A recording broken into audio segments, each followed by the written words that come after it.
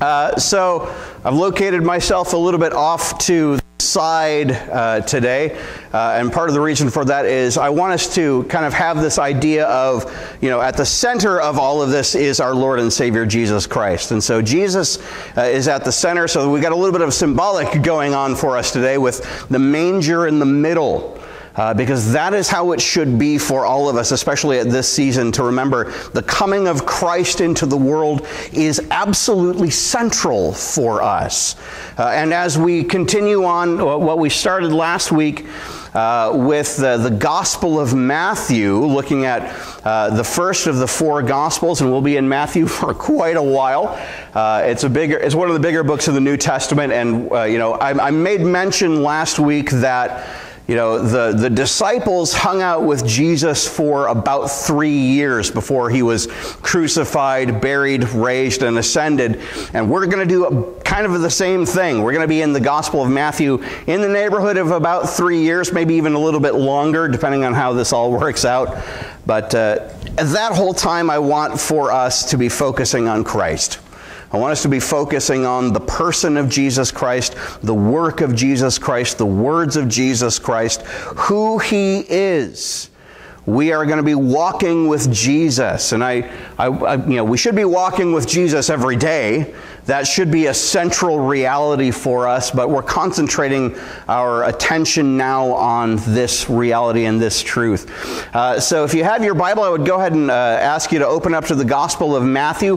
We're going to jump around a little bit, so we're not going to start the actual sequence of just going through it from beginning to end until next week. We're going to jump around at a couple of points. We're going to start in chapter 9 today. We're going to start in chapter 9 today. And what we're going to look at today is three uh, persons from the Old Testament that are very important throughout the Gospel of Matthew. And I, you know, you'll get to the last one, you're like, that's cheating, but you'll understand when we get there. Uh, but so we're going to talk about Jesus and three Old Testament persons today. Jesus and three Old Testament persons. And I'll tip my hand right away, and in the big idea, I'm going to tell you who they are and that's this Matthew presents Jesus in light of three important Old Testament persons David, Moses, and God.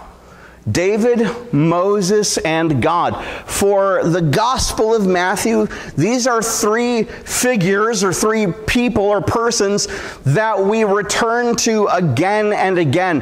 Uh, David is usually pretty prominent out there when he gets mentioned because he's usually mentioned by name. Moses isn't mentioned by name quite as much, although I would say the, the kind of the allusions to or the references to Moses are way more frequent than the ones of David. And then, of course, God. Uh, and, you know, we are talking about Jesus here, Jesus being God in human flesh, of course. Uh, but so when we talk about the Old Testament as it uh, is important to the New Testament, we talk about um, these, these important figures. And we have to understand that when we open up the New Testament, we have to understand it in the light of the Old. We absolutely have to understand it in light of the Old Testament.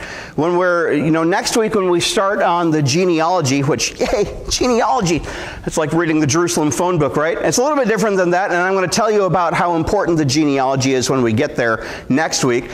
But what I want you to understand before we even dive into this portion is that the Old Testament, as one scholar put it, is a story in search of an ending. Okay, when you, if you were to read the Old Testament from beginning to end, what you would find is you would get to the end and you're like, well, this isn't done. This is not finished. There's, we're left hanging. It's a, the Old Testament ends with a cliffhanger, basically.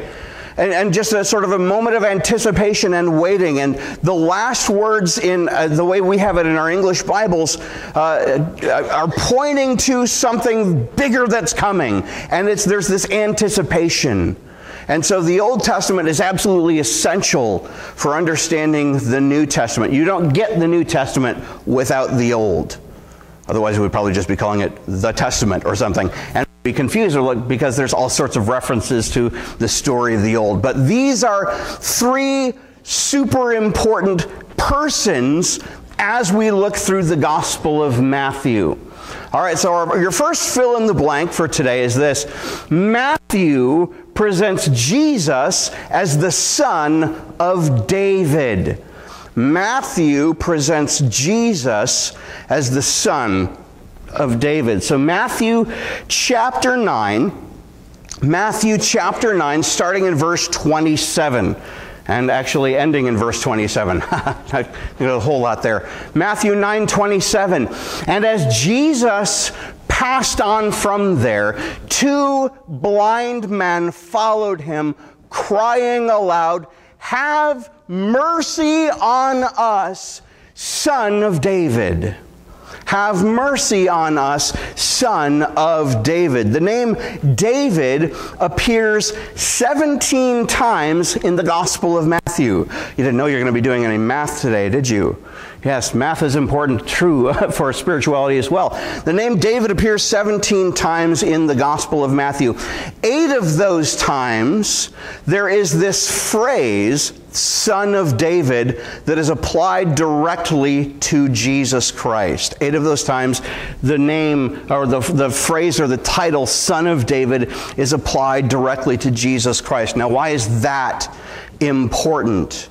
Why is that a big deal that Jesus should have to be the son of David? Well, there's a, there's a portion in the Old Testament that's uh, very kind of hinges on, or this, this you know, aspect of, the, of who Jesus is hinges on this Old Testament prophecy from the book of 2 Samuel. 2 Samuel chapter 7, I'm going to read part of verses 11 through 14 and then verse 16. And this is a prophecy that's given to David. So God gave this prophet Nathan a message to give it to David, and this is how it looks. Moreover, the Lord declares to you that the Lord will make you, David, a house when your days are fulfilled and you lie down with your fathers, that's a reference to when David dies, I will raise up your offspring after you, who shall come from your body, and I will establish his kingdom. He shall build a house for my name, and I will establish the throne of his kingdom forever. I will be to him a father, and he shall be to me a son. Now, in the initial fulfillment of this particular prophecy, what we're looking at actually is a reference to King Solomon. Okay, Solomon was the next son of David, right? At, after that point, he was the son who was going to become the follow on king. And then after that point, Solomon has a son and that son doesn't do quite as good of a job as either Solomon or David. And Solomon doesn't really do quite as good of a job as David.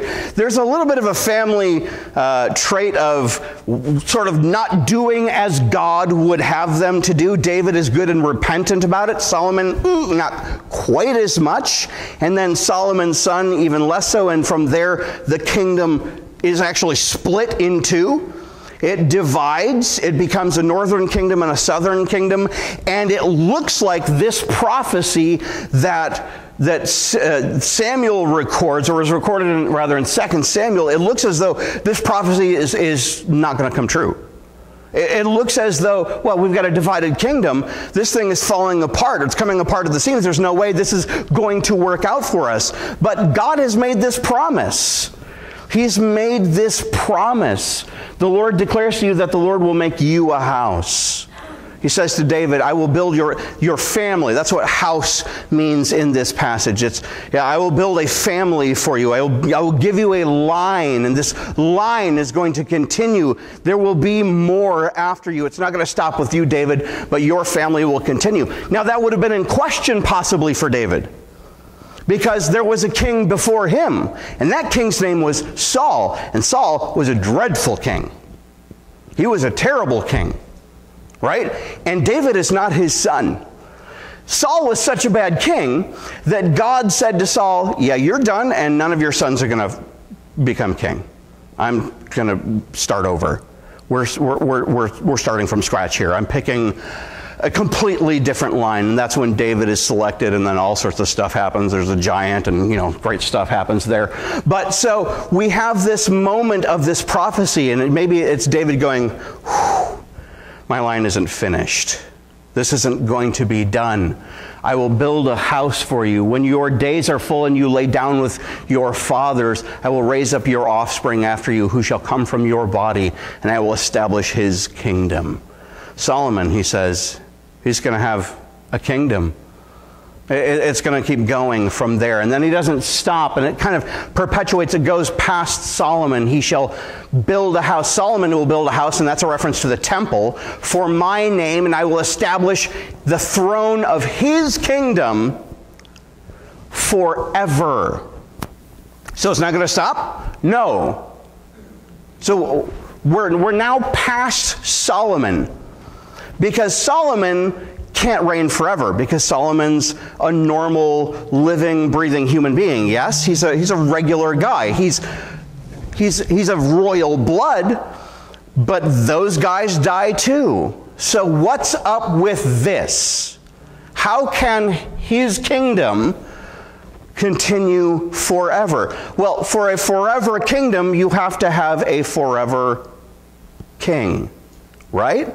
Well, all the way back here at this moment in the Old Testament, we have this prophecy of this forever kingdom and forever king that will be raised up by God. I will be to him a father and he shall be to me a son. And if you are familiar with the Gospels, you'll know that at the baptism of Jesus, he goes, he, John the Baptist baptizes Jesus, he comes out of the water, and it says the heavens rend open, the heavens split, and a dove descends, the Holy Spirit descends like a dove, and they hear a voice from heaven, and the voice says, This is my beloved what? Son, on whom I am well pleased, with whom I am well pleased. And so there, the, what, what God is saying at that moment is, remember 2 Samuel 7? Here he is. Here he is. All the way back, hundreds and hundreds of years before Jesus shows up on the scene, God gives this prophet Nathan a prophecy to tell to David, and he says this and it concludes with, and he will be my son, and he shall be my son. I will be a father to him, and he shall be my son. So when you begin to see this phrase that happens occasionally throughout the Gospel of Matthew, son of David, that's the people going, and maybe not quite getting all of the implications at this point, but going, this is the one we've been waiting for. This is our king. This is the one who's going to rule over us. This is the one we've been waiting and hoping for. We have been here and we have been under foreign rule and we have been oppressed by many nations, but now finally God has given to us the king that we have been hoping and waiting for. And so when you see Son of David, that's what is in mind. That's what is in mind. Now, I want to go back here to the Matthew passage. As Jesus passed on from there, two blind men followed him, crying out, Not just, Hey, son of David, but what do they say? Have mercy on us, son of David. Have mercy on us, son of David, tied in with Jesus' role as king is bound up the reality and the need for mercy. We need mercy. Every last one of us is in need of mercy. Jesus didn't come simply to rule, He came to give us mercy. He came to rule mercifully. He came to be a merciful king. So when we talk about what kind of king is this, he's the king of mercy. Because the, the, the reality and, and the reason these guys are crying out for mercy is that they know that the condition of the nation of Israel, as the condition of the entire human race, is the condition of being needful of mercy. And, and, here's, let, us just kind of explain the backstory on this a little bit. So you have the nation of Israel. They've, you know, like I said, I talked about the divided kingdom, right? So the kingship didn't go well for very long. It didn't take long for the, the kind of thing to go off the rails a little bit. Well, what happens after that point is the northern kingdom is completely, eventually wiped out. The northern kingdom was almost entirely ruled by terrible, terrible kings. Southern kingdom kind of had a back and forth with some really bad, some, eh, could be worse. Right? But then, so the northern kingdom is wiped out, and then there's this southern kingdom. And the southern kingdom is this tiny little, and they're the ones that have Jerusalem. And so it, what happens is they're the last stand for the nation of Israel, the last stand for the people of God. The northern kingdom had 10 of the tribes, the southern kingdom had two. There were 12 tribes of Israel, 10 of them gone with the northern kingdom. The last couple of tribes, uh, they hung out in the southern kingdom until one day, come knocking at their door, was this bigger nation called Babylon. And Babylon came and knocked at the door, then kicked down the door, then took captives and then destroyed the city and destroyed the temple. And they were like, we're done. This is this is it. If you want to see a picture of the lament and despair that they experienced, go read Psalm 137. Psalm 137 is this weeping lament by the waters of Babylon. There we, we wept and we laid down. We said we hung our harps because we, we just didn't have the heart to play. We, we wept by the rivers of Babylon. Why? Because they had been taken into captivity. Their kingdom had been destroyed. What apparently was the people of God had been completely trounced, their nation decimated, their city, their capital city destroyed, their temple leveled. And it looked like the story was over. It looked like they were done and finished. And the reason that all happened was because the people lived in rebellion against God. They said, God, we don't want to do things your way. We want to do it our way. We're going to do things how we feel, how we want. We're going to worship who we want. We're going to have the kings that we want, do what we want. And that's the way it's going to be. And then God said, We had an agreement, we had a covenant. And in that covenant, I stipulated that if you were going to be my people, you had to obey me. You had to go my way. You had to do things the way I say they are because I know what's best and good for you. And if you don't do those things, it's going to be, become self destructive. And so at the end of the book of Deuteronomy, there is this list of blessings. If Israel followed God and did what God said to do, this is how they would be blessed. But then right after that, there's an even longer list of curses. And if the people rebelled, they were going to be cursed. And, and it concludes with, and you will go away into exile. I will send you away. You will not be my people anymore. Basically, he says, I will divorce you.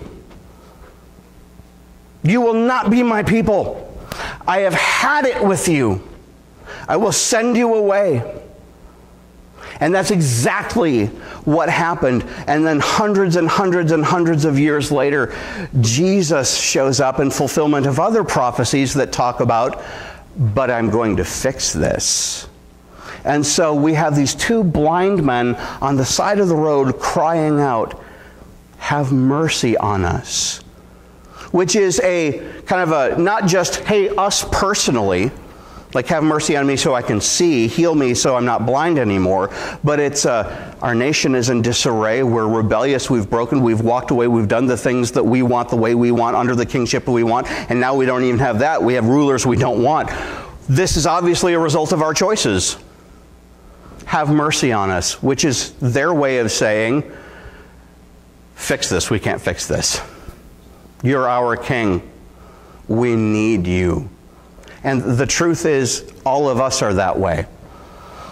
Because human beings are a rebellious people. By birth, by nature, we rebel. Because that's what we have inherited from our first father, Adam. We have inherited a nature of brokenness and sin and bent away from Godness. And so, along with these guys, these two blind guys who have nothing, they're sitting there, they're begging. That's a great description of the human condition. Blind beggars who can't do anything for themselves when it comes to God. Crying out, the only thing we can cry out have mercy on us, our King. Lift us up out of this brokenness. So when Jesus came, he didn't come to be a king merely in the sense of, hey, there's this guy who rules this nation. He came to be a king who was to bring mercy on his rebellious people. He came to be a king who would lift us up out of our brokenness, our sin, and our death and raise us to life. Have mercy on us, son of David. The Davidic theme is about Jesus as the Messiah King. In other words, he is not just my personal Savior, he is that, but he is my merciful king. He is our merciful king. And that's the David angle on all of this. Point number two Matthew presents Jesus as the new Moses.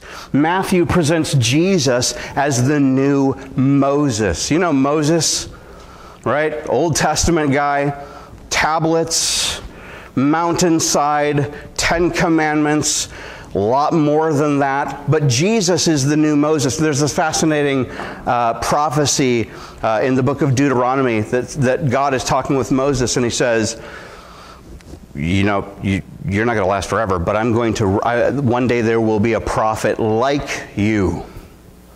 I will bring a prophet like you who will deliver the people. And that is who Jesus is. He's not only the Davidic line king, he's also this new Moses. Matthew chapter 5, verses 1 through 2. Seeing the crowds, he went up on the mountain. And when he sat down, his disciples came to him, and he opened his mouth and taught them. This is the beginning of what you might know as the Sermon on the Mount right? Jesus goes up on a mountain and begins teaching people. Now, if you're paying attention and you know your Old Testament, there are ringings of Moses in these two verses. This is about Jesus being the new Moses. So, how does that work? Well, let's go look at Exodus chapter 19, verses 1 through 6. They set out from Rephidim and came to the wilderness of Sinai, and they encamped in the wilderness. There, Israel encamped before the mountain while Moses went up to God. The Lord called to him out of the mountain, saying, Thus you shall say to the house of Jacob, and tell the people of Israel, You yourselves have seen what I did to the Egyptians, and how I bore you on eagle's wings, and brought you to myself. Now, therefore, if you will indeed obey my voice and keep my covenant, you shall be my treasured possession among all peoples, for all the earth is mine, and you shall be to me a kingdom of priests and a holy nation. These are the words that you shall speak to the people of Israel. And so God has Moses come up the mountain.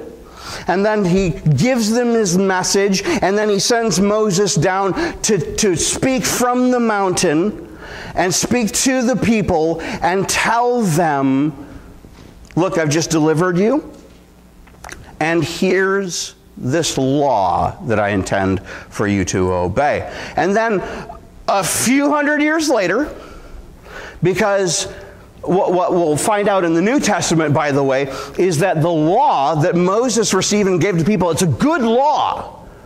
But there was a problem. They were bad people. and bad people can't follow a good law. And, and, no matter how good the law was and how good and from God it was, the people who had their hearts essentially still far from God couldn't follow God's ways. God has a perfect standard and a perfect law that He gave to a very imperfect people, and they couldn't fulfill it. And so, exile, sent away, Babylon, Persia, lots of these other nations in this line, this successive, successive line of bigger nations that have defeated Israel and are keeping Israel under oppression until you get to Rome. Jesus shows up under the Roman Empire. Jesus shows up under another oppressive empire, and he does the Moses thing. He does the Moses thing, doesn't he? Seeing the crowds, what does he do? He goes up on a mountain. And when he sat down, his disciples came to him and he opened his mouth and he taught them, just like Moses did. Now, this is just one sliver of the parallels between Jesus and Moses. There are lots of others. Uh, so when Moses was a baby, for example, there was a Pharaoh who didn't know Joseph, it said. And so, interesting that Joseph is the name of a person in the Old Testament and in the New Testament. There's a purpose for that. But there is a Pharaoh who rose who didn't know Joseph, who was a good guy from Israel, helped the people, helped Egypt. He says, I don't know these, I don't know this Moses guy, but there are all these Israelites around, and I'm a little worried that they're going to take over over. So he begins to oppress them. And one of the ways that this Pharaoh oppresses the Israelite people is that he says, All right, all of the firstborn sons, we're going to kill them. We're going to kill them. And so that they put this plan into motion, but there was this one Jewish mother who hid the baby, little baby named Moses. Hid him, put him in the little kind of basket, hid him in the rushes, Pharaoh's daughter finds him and says, Oh, cute baby, I think I'll adopt this one. I'll bring it into my house. Right? You know that whole story. So, but then fast forward to Jesus. There's another king. Not an Egyptian king, but this is actually the, the Israelite king, though he's not Jewish. His name is Herod. And he says, Well, there's this prophecy of this new king that's supposed to be born. Better kill the babies. Just like Pharaoh did.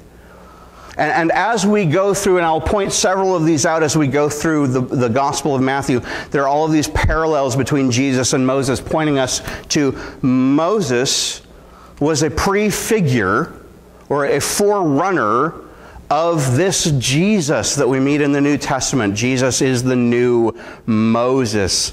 He went up on a mountain and he taught them. This parallels Moses giving the old covenant to Israel. So Jesus, in the Sermon on the Mount, is essentially giving a new law. And you will hear Jesus say things like, Well, you have heard it said, but I tell you. And what Jesus is doing there is he's responding to common interpretations of the Jewish law that have gotten way of course. And he's saying, Nope, you've heard it said, but I tell you. And he gives them a completely different way of life, a completely different. And it's different from the Moses law because the Moses law was here are all of these regulations, here are all of these things. Who follow, do the sacrifices this way, follow this, do this, slit this throat that way, do all the, you know, it's kind of like, ah, what is all of this? And then Jesus shows up and he says, all right, we're not doing that. Instead, what we're going to do is we're going to have to, we're going to have to start with your heart. I have to, if, if you're going to follow God, I have to change your heart. And that's what the, what the Sermon on the Mount is ultimately pointing to. This new law that is given through Jesus is a law of love. And that's actually a phrase that we find at other points in the New Testament the law of love. It's a different kind of law. But Jesus comes and he's not only the new Moses, but as Hebrews would essentially tell us, he's the better Moses. He's more Mosesy than Moses was. And what did Moses do apart from giving the law? He was the deliverer. He was the one whom God raised up to stand up to the face of Pharaoh and say, You let my people go. And Jesus is one who stands up to all of the powers of darkness, to all of the power of sin, stands up to the face of the devil, and he says, You let my people go. These are mine, and I'm taking them back You can't have them anymore. You don't get to keep them. I will take them from you. I have come to take what is mine, and you will not stop me. Do your worst. I actually think what happened was Jesus tricked them into doing their worst to him. Because in so doing, in him going to the cross and allowing them to do their worst to him, he absorbed and exhausted the power of it.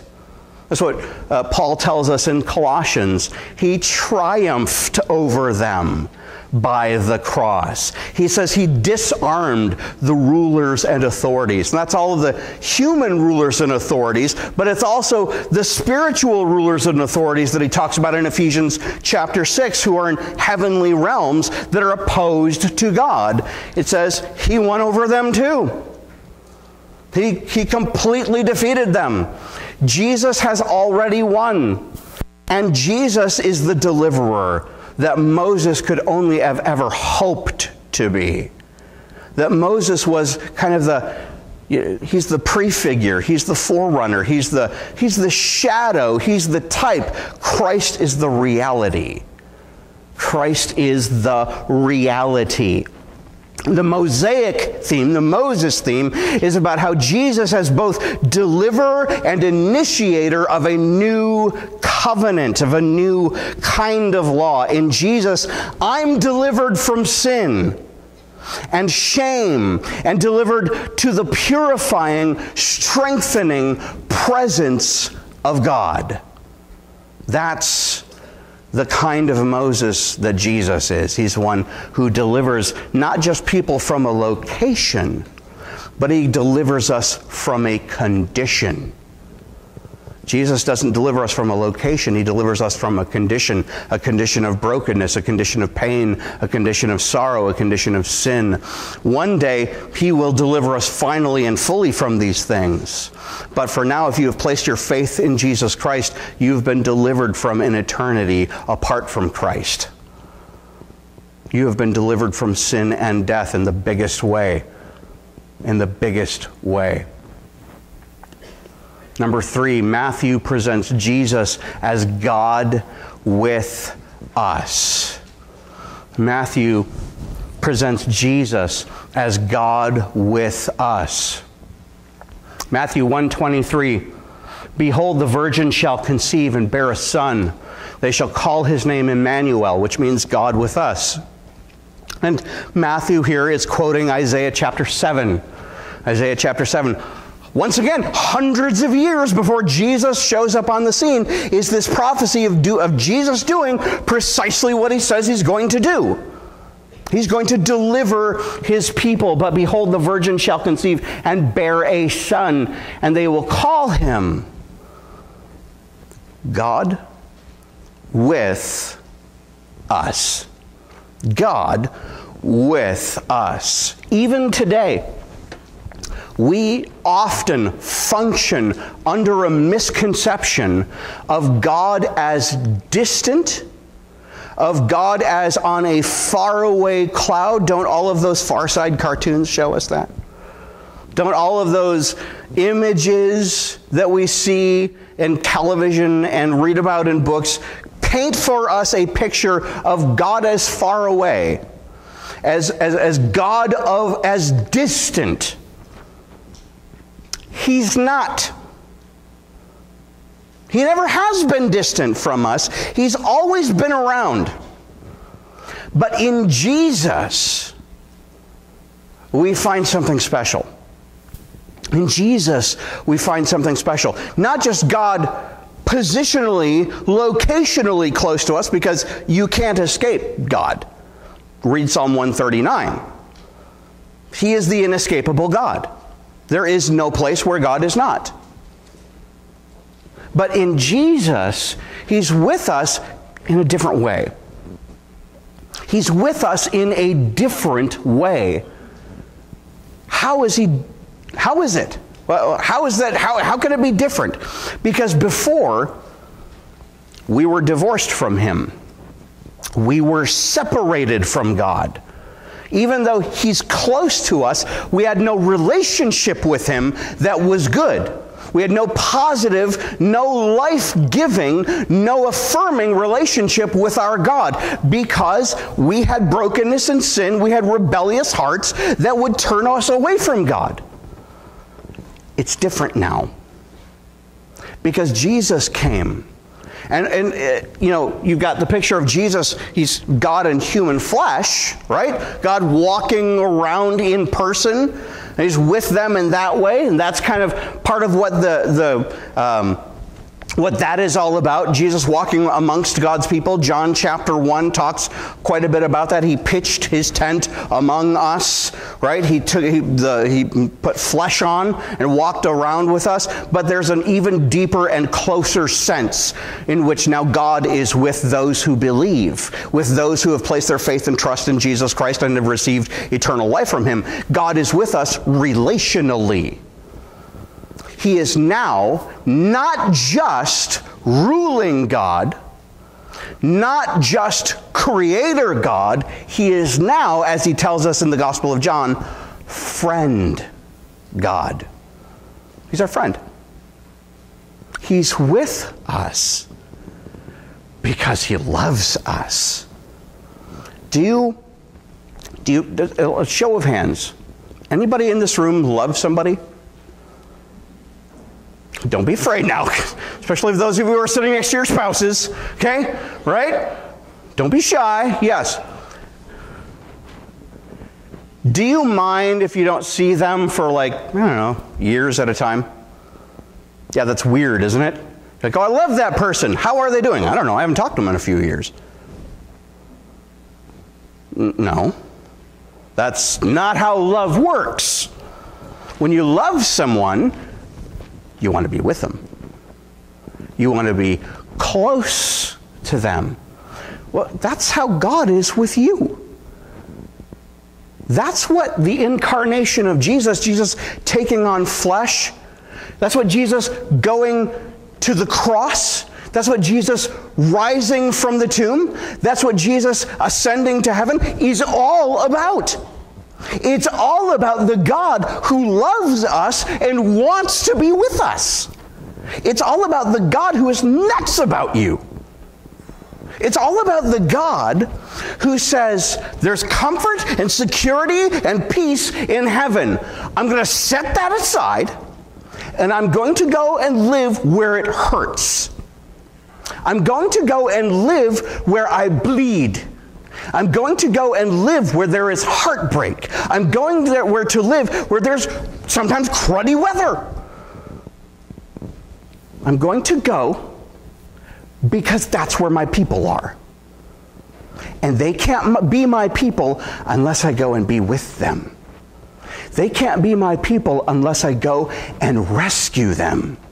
They can't be my people unless I go and show them how much I love them and invite them to relationship with me.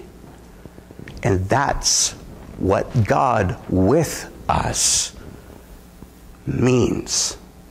That's what God with us is about. So that's the beginning of the Gospel of Matthew. At the end of the Gospel of Matthew, there's Matthew 28 20. And behold, I am with you always to the end of the age. So Jesus, this is him right before he ascends. This is him right before he takes the throne in heaven. But him going to the throne doesn't mean he is any less with us. Doesn't mean he is any less showing us how much he loves us. He's still with us. H- have you ever, you know, those of you who raised your hand that said you love somebody, right? Can you endure an apartness for a brief time? Yeah. Yeah, uh, they're in another room. Oh no, do they still love me? Of course they still love you. Okay, it may start out that way, start out very insecure in those relationships. And, some of us are that way with God. Does he still love me? Doesn't feel like it. Maybe, maybe it's been a while. No, be assured I am with you always. I am with you always. I am with you. How often, God, are you with me? When I feel like it? When things are going well? When my bank account is doing okay? When I'm not behind on my payments? Are you, are you with me then? When I stumble? When I fail? Are you still with me? When I mess up? Are you with me then? Yeah. Still with you. I have not left you. Because he won't. He won't. He doesn't want to. You don't get to push him away. Sometimes we try. Sometimes we go, all right, well, I just kind of want to do things my way. He's still with you. Still with you. Still present. Still in love with you. You still matter to him. You still matter to him. So when we talk about Jesus as God, it's not some distant clinical theological concept. Oh, yes, well, I know that he's the third person of the Trinity, is this, that, and the other. The hypostatic union is. No, no, no, set that aside for a minute. Set that aside. Yes, he is God. Yes, he is God in human flesh. But that doesn't begin to cover God with us. Because God with us is, I'm close to you. I'm close to you. When you feel a big loss, I'm close to you. When you trip, I'm close to you. When things aren't going your way, I'm close to you. When things are going really, really well, I'm close to you. His presence with us is not in any way conditional on how your day is going. He's with you. He is with you. And He's with me. Believe it or not. Here's some questions to chew on. Number one, do I bow to Jesus as my merciful King? Do I bow to Jesus as my merciful King? He's my better David. Do I remember him as my King? Do I trust him as my king? Do I let him lead me and rule me as my king? Number two, do I live as one delivered by Jesus from a great bondage? Your situation has been changed massively by Christ. Do you live like it has? Do you believe this? Are you living in light of this? Number three, do I live conscious of the presence of God who wants to be with us? Do I live conscious and, and, and, understanding of, yeah, he's, he's with me? Now, because I want you to kind of get this one last kind of thing on God with us. I want you to take note that it doesn't say God with me, it says God with us. It's not just with you and nobody else. There is that dynamic, there is that relationship by implication of the fact that God is with us. We are one.